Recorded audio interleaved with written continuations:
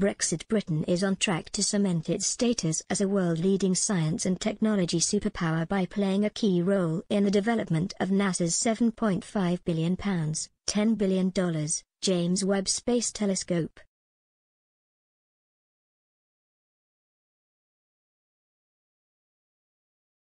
The biggest and most powerful space telescope ever built will blast off tomorrow on a mission to study the earliest days of the universe.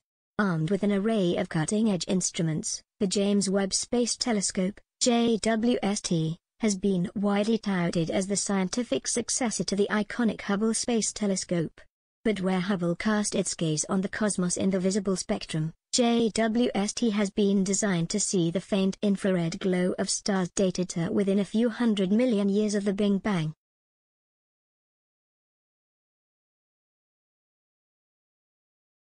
JWST is penciled into launch just after noon from the Guiana Space Center in French Guiana, aboard an Ariane 5 rocket.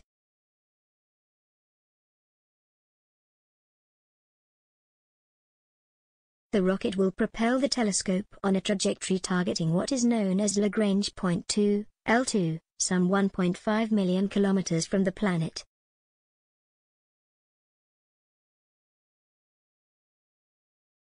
From this unique vantage point, where the gravitational tug of the Earth and Sun are balanced, JWST will allow scientists to probe the universe farther and deeper than any space telescope before it.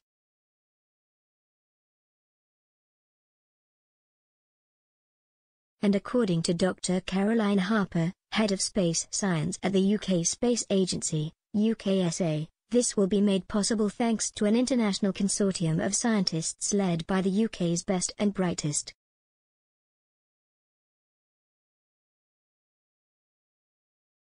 She told Express.co.uk, the science that is going to be done with this telescope is expected to be truly astonishing.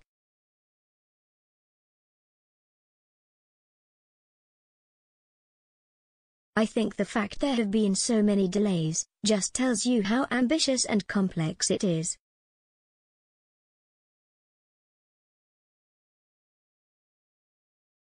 As such it's going to revolutionize, I think, the way we view the universe.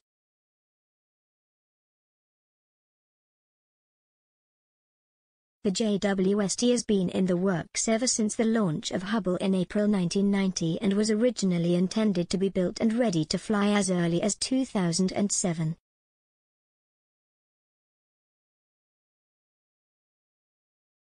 The project has suffered many delays over the years, including a recent decision to push the launch date to Christmas Eve.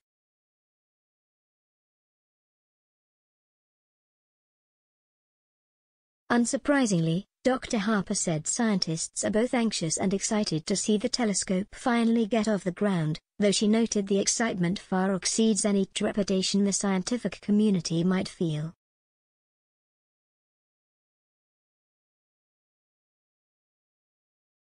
Mounted on the telescope is the Mid-Infrared Instrument or MIRI, a camera and spectrograph designed to see light in the mid-infrared region of the electromagnetic spectrum.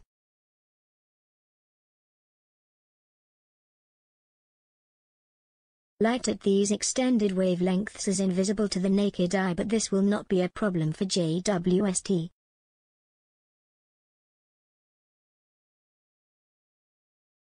The telescope was designed to observe the light stars dated to about 13.5 billion years ago.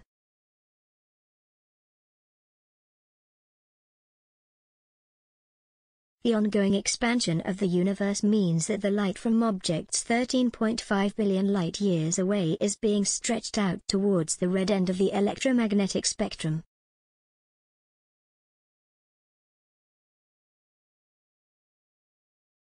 And according to NASA, the MIRI instrument will allow JWST to snap the sort of images that will continue the breathtaking astrophotography that has made Hubble a household name.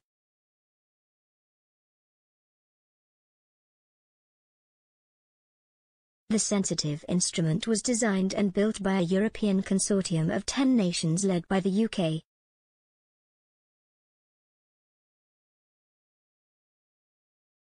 According to Dr. Harper, the project brought together some of the UK's leading scientific minds and institutions, from researchers at the University of Edinburgh to RAL Space at the Rutherford Appleton Laboratory at Harwell.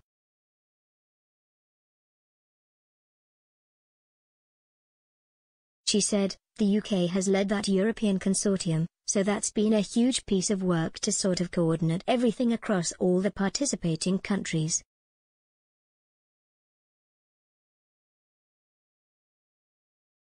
The principal investigator based in Edinburgh University, Gillian Wright, has led the team that led the whole optical design for the instrument.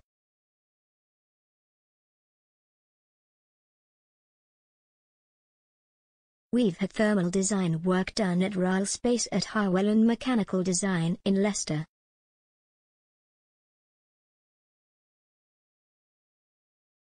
And then Airbus, used to be called Astrium, they project managed the whole consortium and the system engineering.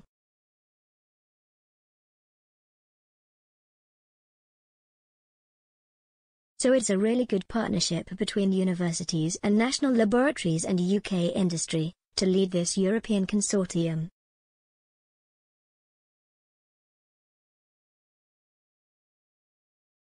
All of this, the expert added, help British scientists build upon the ambitions and goals outlined by the UK's historic National Space Strategy.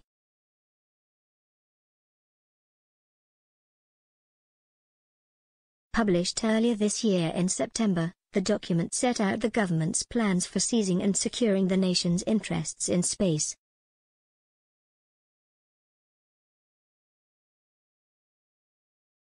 Among the listed goals, was the directive to help establish the UK as a leading hub for scientific breakthroughs by building upon the country's rich heritage of scientific exploration and innovation.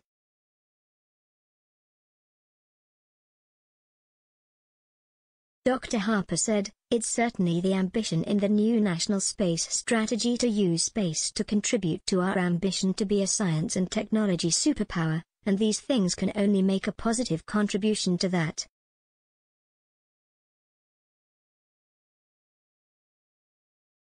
This rich heritage and knowledge base, according to the expert, is also one of the reasons why the UK was trusted to lead the MIRI project for JWST.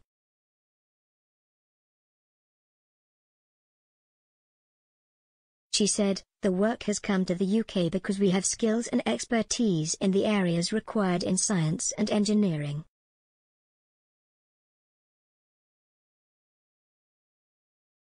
Belonging to the groundbreaking international missions helps to keep UK scientists at the forefront of space science discovery, so we have a strong reputation and by participating in this mission we maintain that reputation.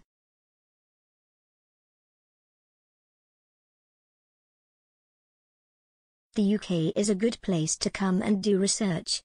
That is the message and it's a good message to get across.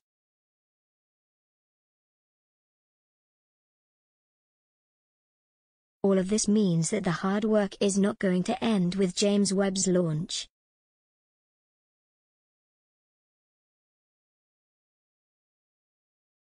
Dr. Harper said the UK is already working on a number of other, exciting space exploration missions in partnership with the European Space Agency, ESA, and many more in the pipeline.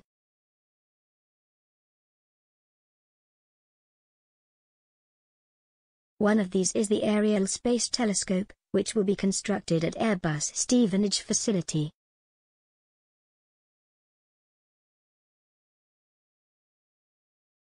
Dr. Harper said, we talked about our ambitions to be a science and technology superpower and what we've done with James Webb and other projects and what we plan to do in the future is all about exactly that ambition.